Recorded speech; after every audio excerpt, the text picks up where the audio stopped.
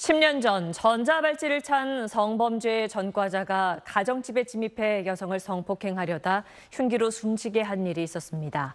유족은 경찰과 보호관찰관이 제 역할을 다하지 않아 범행을 막지 못했다며 소송을 이어왔고 오늘 대법원이 국가의 배상 책임을 인정했습니다. 보도에 안희재 기자입니다. 2012년 8월 두 아이를 어린이집 차량에 데려다주고 돌아온 30대 어머니 A씨를 성폭행하려다 살해한 서진환. 불과 13일 전 집 근처에서 다른 성폭행을 저지른 사실이 뒤늦게 드러났습니다. 서진환은 성범죄 전력으로 전자발찌를 차고 있었지만 경찰은 첫 범행 당시 범행 현장 주변 전자발찌 착용자가 있었는지 조회하지 않아 검거 기회를 놓쳤고 결국 두 번째 범행으로 이어졌습니다. 이듬해 무기징역이 확정됐고 유족은 부실 수사와 성범죄자에 대한 관리 책임을 묻겠다며 국가를 상대로 소송을 냈습니다. 1, 2심은 관리에 미흡한 부분은 있었지만 위법으로 보기 어렵고 피해자가 살해당한 것과 인과관계를 인정하기 어렵다며 원고 패소 판결을 내렸습니다. 하지만 오늘 대법원은 국가의 배상 책임이 있다고 판단했습니다.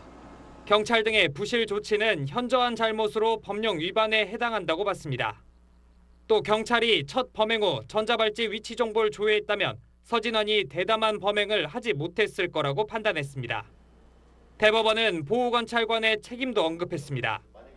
서진환의 재범 위험성과 반사회성을 알면서도 한 달 넘게 대면 접촉을 안 했다며 지속적으로 감독했다면 함부로 재범을 결심하지 않았을 거라고 지적했습니다.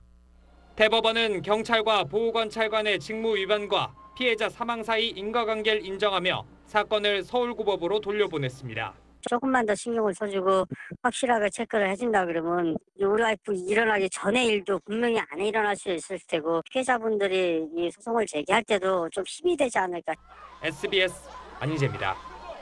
네, 안녕하십니까. 김현우입니다. 더 많은 뉴스와 라이브 이벤트를 보고 싶으시면 화면 오른쪽을 눌러서 구독해 보시길 바라겠습니다. 또 저희 SBS 앱을 다운로드 하시면 속보 알림도 받아보실 수 있습니다. 항상 저희 SBS 뉴스를 시청해 주셔서 대단히 고맙습니다.